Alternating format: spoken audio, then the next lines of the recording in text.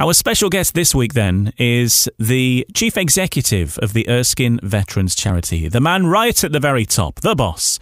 Wing Commander Ian Cumming, MBE, is with us both today and on Thursday to give us an update on all the things that are happening at the Erskine Veterans Charity, both in the homes and uh, further afield as well. So, my great pleasure to welcome to Erskine Veterans Radio, Ian Cumming. Thanks very much, Ian. Nice to speak to you. Let's just start with a, um, a little bit of a, a, brief roundup of, of where the Erskine Veterans Charity is at at this moment. We, we spoke to, to Derek a little while ago about um, opening with care and, and, obviously a big improvement in the way the world is from from the last time that we spoke, which was um, back in I think April time. Um, restrictions mm. have eased, families can now see their loved ones again, and uh, positive changes overall for for the uh, the, the, homes and, and the veterans and their families, of course. Oh, very definitely. You know, it's great to have the um, the relatives coming in to see their their um, their loved ones uh, within the homes. Um, there's a real buzz around Erskine now. You know, much much more um, smiling, much more activity. Uh, but that said, uh, that does actually make our staff uh, a lot busier. Clearly, you know, we've got to um, uh, test uh, visitors before they, they um, move to through to see their loved ones. We've got to escort them there, and then after the visit, which everyone really, you know, really, really enjoys, we've also got to, to you know clean the visiting area and, and clean the, the rooms and so forth. So there's a there's a big workload there, but because of the benefits it brings to, to our veterans, you know, everyone very willingly gets stuck into to do that. But we're not out of the woods yet. There's clearly there's an awful lot of infection uh, within the community, and our staff live within the community, so we really really need to keep on our toes in terms of infection prevention control and, and all the good measures that you'd expect to see in place. We'll talk about some of the recruitment possibilities that uh, are available very soon. But as we move into this part of the year, a lot of talk in the news about vaccine boosters. Of course, um, many of our residents and staff were the first to receive the vaccines when they first became available at the start of the year, and those boosters now are uh, are just around the corner. Yep, absolutely. In fact, within the next week, I've already had notification that Erskine staff will be offered their um, their booster vaccination on the uh, the second of October, along with our, our residents. And uh, I'm really looking forward to it personally uh, to make sure that my protection against uh, COVID is topped up.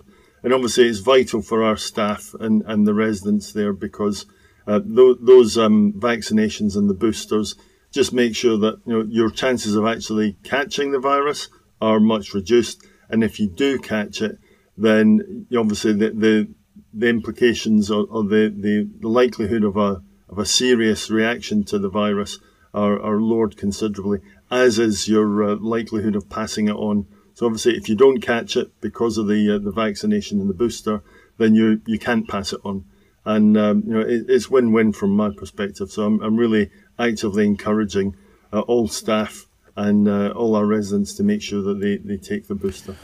The vaccines, of course, uh, making a huge difference to life everywhere. Um, and at this time of year, we know that bugs are a little bit more prevalent. But as well as the personal benefits of the vaccine, of course, it's a case of avoiding another lockdown and, and keeping all of the, the Erskine homes as open as possible for, for visitors and, and for activities as well. No, very definitely. I mean, we're we're closely in, in touch with uh, Public Health Scotland uh, regarding um, you know any member of staff who test positive uh, and you know the unlikely event of a of a resident testing positive, and and their calculations are all based on uh, the uptake of vaccinations within the homes and so forth. So yeah, in the event of uh, people not taking up the vaccination or people not being vaccinated uh, across the community, there's more likelihood of an increased level of infection within the homes.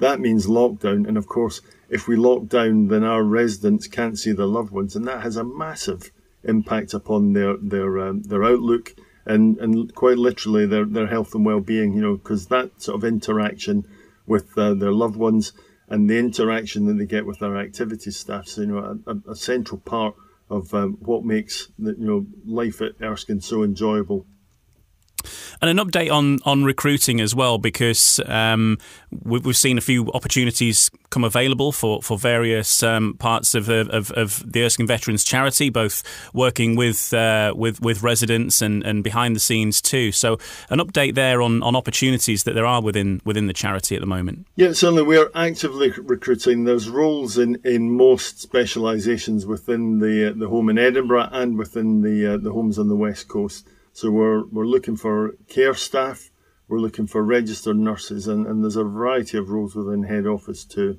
You know, it's, it's a big team effort to do what we do at Erskine. And obviously, the frontline care staff and registered nurses are absolutely fundamental to what we do. It's been a challenge through the pandemic across all of health and social care, but you know the the, the type of work that we do is you know, recognised as being exacting. It requires a, a, a good deal of uh, you know personal uh, skills and personal qualities, and and it's just so rewarding in terms of the, the, the benefits that you make to our residents' lives. You know, the the um, the, the benefits certainly outweigh uh, the the, um, the you know the, the, the tough level of work that's actually involved. But you know, we like to think of ourselves as good employers. We're increasingly adopting very um, flexible uh, terms and conditions. We pay very competitively uh, across the sector, and uh, we think that we're, we're a good organisation to work with. And certainly, many of the the um, staff from around Erskine, whether that be in in the office or administrative, or, or, those that are working with the, the the residents, the veterans, tend to more often than not have been there for a number of years. You know, you have a good uh, retention, and, and, the people who who love working at Erskine really love it so much so that they, they do spend sometimes decades working for the charity. That's right. We've we've got a, a great many staff who've been here uh, 10, 20, 30, even 40 years recently our executive chef retired and he'd been with Erskine for 47 years. Wow. So he, he was clearly uh, a very loyal supporter and recognised the, the, the, value of his work and, uh, and all the teamwork that, that we, um, we do. It, it's a great place to work and really the, the difference that you see you're making to our residents and their families' lives on a daily basis is, is genuinely uplifting. The National Care Service consultation for Scotland is currently underway, and uh, I think that closes at the start of November, doesn't it? What are your thoughts on that, um, and maybe hopes of, of what it might show when the results are in? Well, I really welcome the uh, the consultation on the National Care Service. I think that in principle, it's a it's a really good idea uh, to have uh, you know a standardised, nationalised service.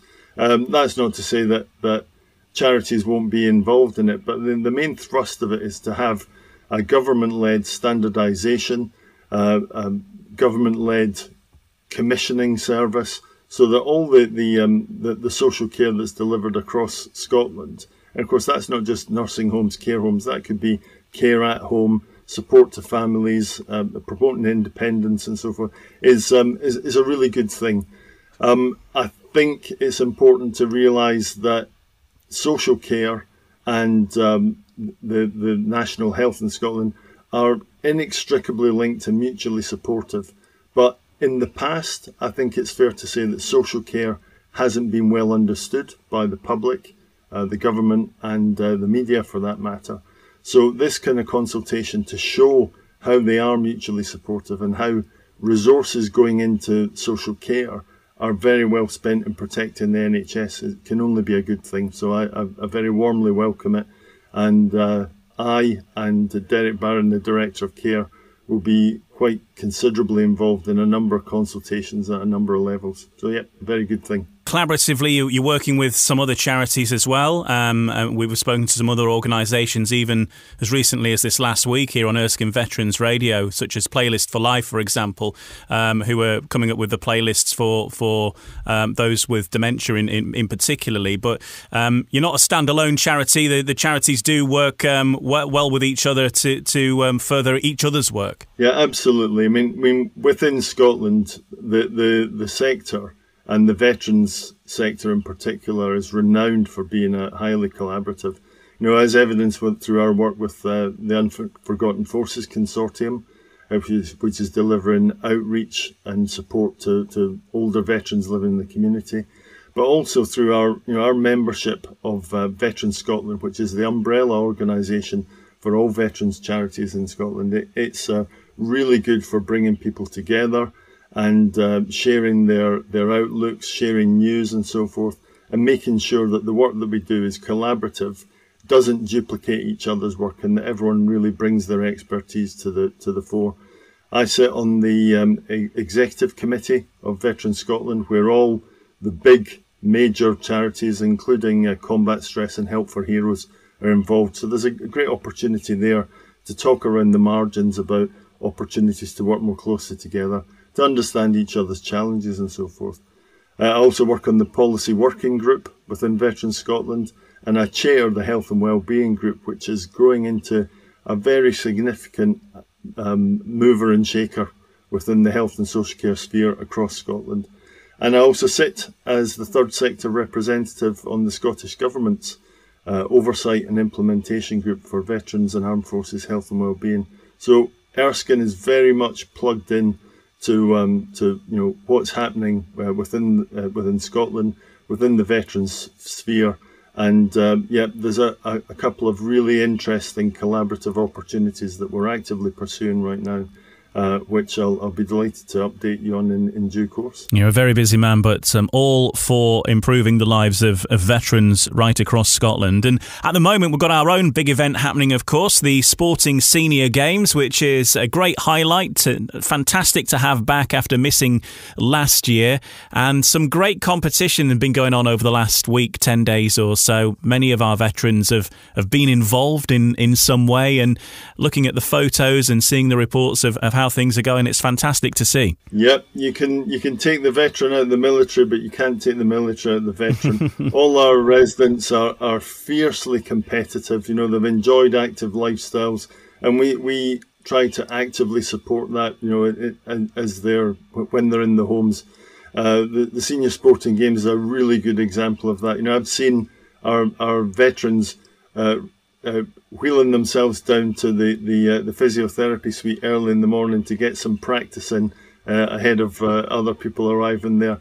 Yeah, they, they really enjoy it, and and it's just to see the smiles on their faces as they you know they score a goal or, or you know knock over the skittles or you know get get a, a new uh, a new record on the the uh, the javelin is is brilliant. It's really great. There's also quite a lot of events now on the calendar, things coming up that people can get involved in.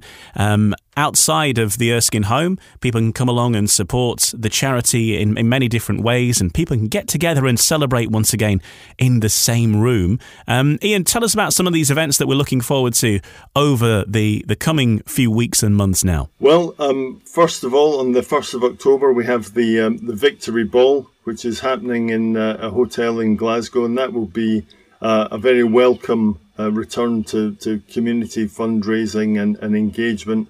Uh, very glitzy, very enjoyable, uh, where the great and the good will come along. Uh, there's a silent auction on, on, the night. And, and really, we, will um, spend a lot of time talking about Erskine, what it does. There'll be uh, videos and presentations to, to update the, the, um, the attendees. Uh, we're also airing our Futures for the Brave television advert, which I think will be very exciting. It's a, a lovely advert that, that really nicely articulates all the stuff we do.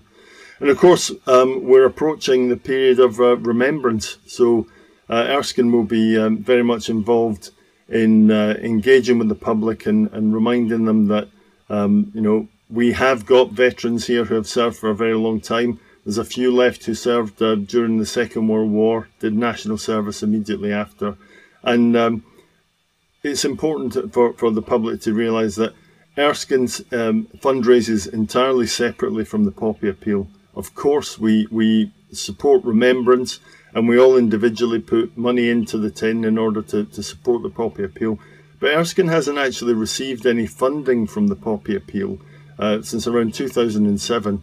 We've got to raise over £10 million each year to deliver the, the type of and quality of care that we think our veteran residents deserve. And uh, therefore, it's very much a, an individual effort on our part to reach out to uh, to the public, uh, help them appreciate what we do, and hopefully garner support. So that there's a big push for remembrance this year.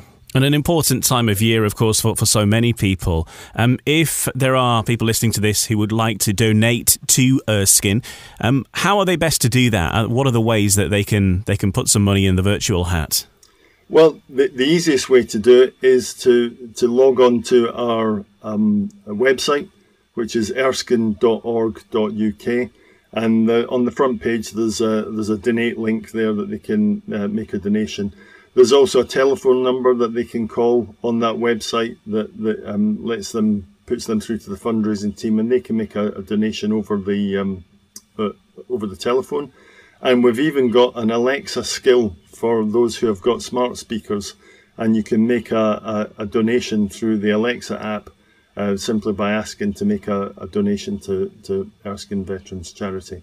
So yeah, there's a lot of opportunities. We will be out in the um, in the community, but on the whole, uh, the red tins that you see will uh, and that we'll actually have within our um, uh, our various homes are there for the poppy appeal. But yeah, plenty of ways for for the um, the public to, to make a, a separate donation directly to Erskine, and uh, we'll put it to the very best use. And back to the subject of remembrance, uh, a hugely important and poignant time of year for, for everyone, of course.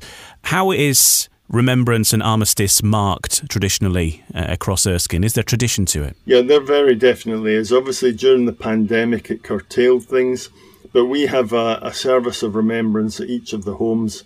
Uh, take the Erskine home in Bishopton in particular. Uh, we move out into the Remembrance Garden, which is in the centre of the, um, the, the Erskine home. Uh, we have the local minister who delivers a service. Uh, I make a, a, short speech and recite uh, Binyon's lines. And then um, we, we typically have a pipe band or a piper there to play laments and appropriate music. The, um, all the staff, all the residents are out uh, in the garden, um, very often under umbrellas.